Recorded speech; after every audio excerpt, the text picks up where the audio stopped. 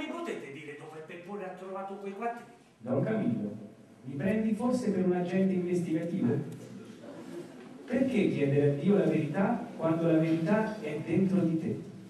Cercala, Don Camillo, cercala e la troverai. Grazie. Che cos'altro c'è che non va? Cosa ti turba, Don Camillo? È il fatto che oggi è successa una cosa assurda. Mi sono incontrato con un morto faccia a faccia giù nella strada. Don Camillo ragiona. Di solito i morti che si incontrano per la strada sono vivi. No, quello era morto, ne sono sicuro, perché l'ho accompagnato io stesso al cimitero. Se è così non dico più nulla. Sarà un fantasma? Un fantasma. Ma che fantasma? Mi meraviglio di voi che credete ai fantasmi. E allora, Don Camillo? Già. Allora,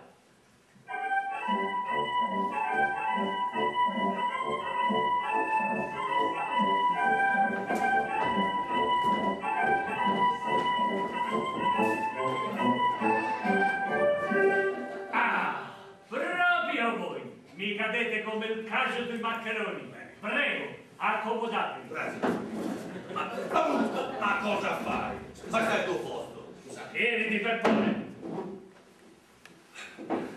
Brusco, Sì, tieniti pure tu. dove? Qui. Lì, lì. Eh, sì. Grazie. Prego, Grazie. prego. Prego. Grazie, caro Peppone. È un'intera giornata che sto ripensando alla vostra descrizione della casa del popolo. Ah, e che ve ne pare? Oh, magnifica, magnifica! E mi ha fatto decidere a mettere su quel piccolo localetto che avevo in mente da tanti anni. Farò la posa della prima pietra domenica prossima. E sarei onorato della tua presenza domenica. Qualità di sindaco si intende, eh? Volentieri, volentieri. Cortesia per cortesia. Intanto però vedi di restringere un pochettino quel tuo progetto della Casa del Popolo, perché è un po' troppo grossa per il mio temperamento. Ma Don Camillo, ma siete ubriaco? Oh, non più di quella volta che feci una funzione funebre.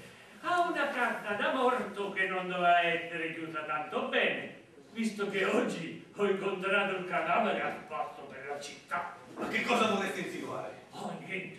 Dico solo che quella carta a cui gli inglesi presentarono le armi e che io benedì doveva essere piena di tanta roba che tu trovasti in quella vecchia villa dove prima c'era un comando tedesco. Ah. E che il cadavere doveva essere giù in cantina vivo e vegeto. Ah, ci risiamo con la solita storia, eh? Tenta ancora di diffamare il movimento partigiano. Bravo, brusco, bravo. Lascia stare i partigiani che sono persone serie. A me non mi. Ma voi, voi avete poco da insinuare. Era tutta roba rubata ai tedeschi. Argenteria, macchine fotografiche, oro e altra roba. Se non la prendevamo noi, la prendevano gli inglesi. Era l'unico modo per farla uscire. A casa tutti e le ricevute. E poi c'è anche chi può testimoniare. Nessuno ha toccato una lira. 10 milioni sono stati ricavati e 10 milioni andranno per il popolo. È la pura verità. E se qualcuno ha qualcosa da ridire, so io come trattarlo. Bravo Brusco. Anche io. Ho capito. Non mi pare sia il caso di litigare. Oh, neanche a me. Tanto più che sono perfettamente d'accordo con voi. 10 milioni sono stati ricavati e 10 milioni andranno per il popolo.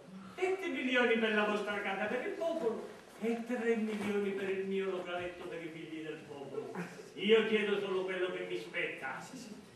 Se non aveste quel maledetto arnese fra le mani, direi che questo è il più vile ricatto dell'universo. Firma Peppone, firma!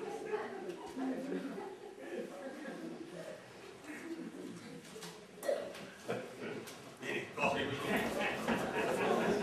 Fermo, eh, fermo, copri. Vai, vai, vai!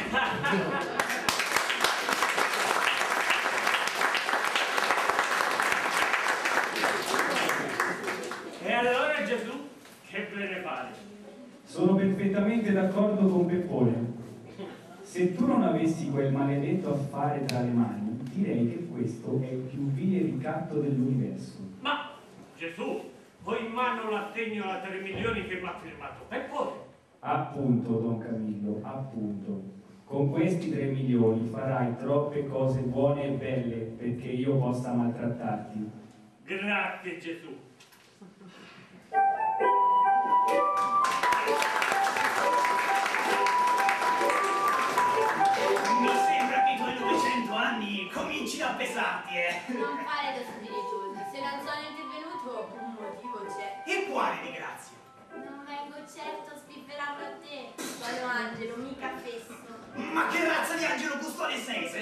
Se, lasci che il tuo assistito venga sommerso da un mare di legnate senza alzare una piuma? Con me non attacca, è inutile che ci provi.